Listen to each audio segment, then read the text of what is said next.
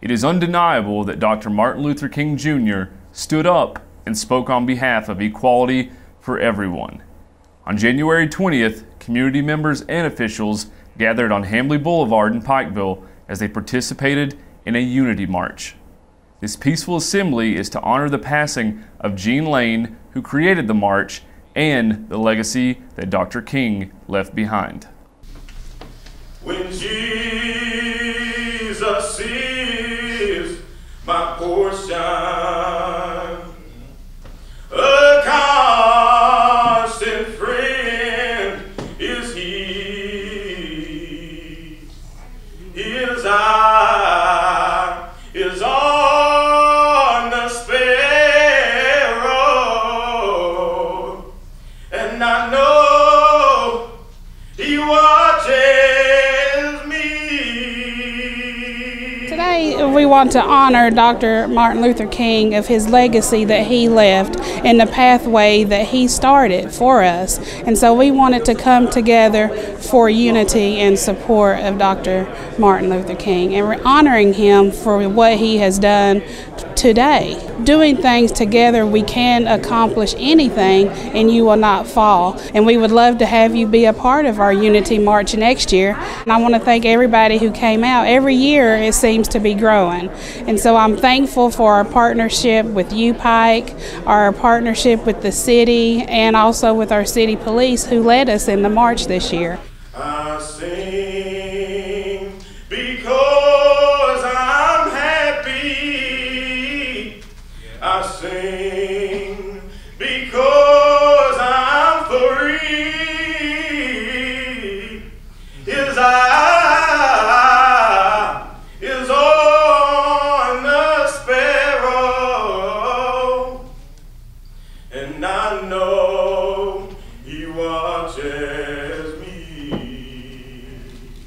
Are here to celebrate Martin Luther King, the unity, the solidarity of his speech, of what he stood for.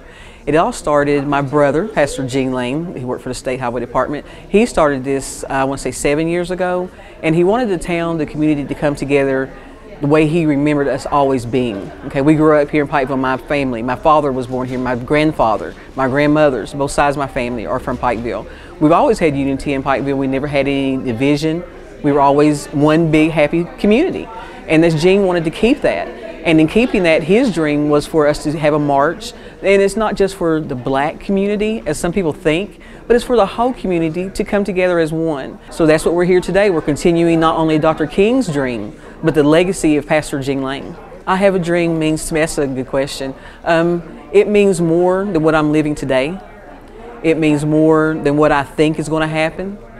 But it's that dream of a reality, what can become of my future. I have great nephews now that are coming up. So my dream for them, as I look at the news and I hear of things that's outside of our little community that happens, my dream is that it never affects their lives. That when they stand up, when they get as old as I am, that they can still stand in unity with their community, no matter where they go. Not just in Pikeville, but when they venture out. I want my dream for them to be of a better United States, a better world, a better life for them, no matter where they are.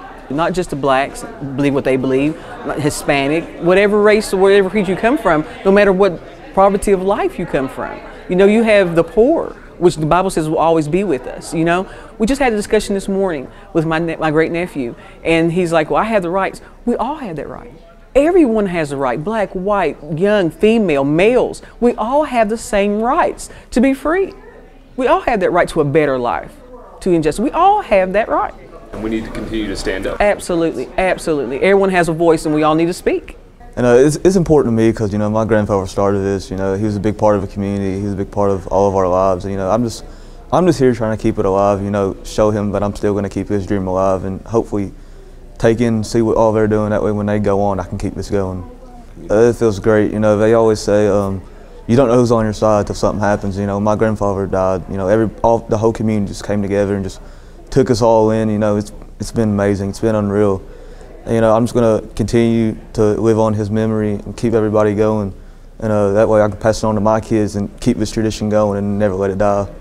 I have a dream means to me that not only when I grow up, but when my kids and their kids grow up, that more stuff like this can happen. We can come, be equal. Everybody can sit at the same table. You know, we don't have these fights and these outbreaks going on. You know, just everybody be one loving family. So I'm honored and I'm humbled that we come together in unity for this one special day to honor Dr. King.